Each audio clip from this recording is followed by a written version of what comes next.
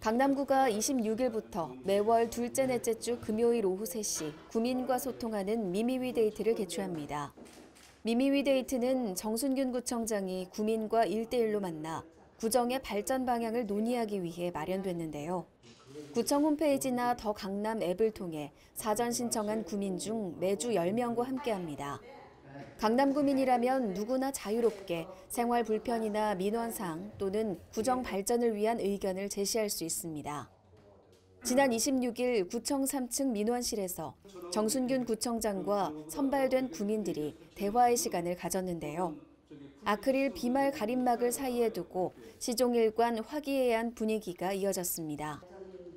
이날 구민들은 시각장애인 쉼터 설치와 개포 지역의 개발 사업 등 다양한 민원과 의견을 제시했는데요.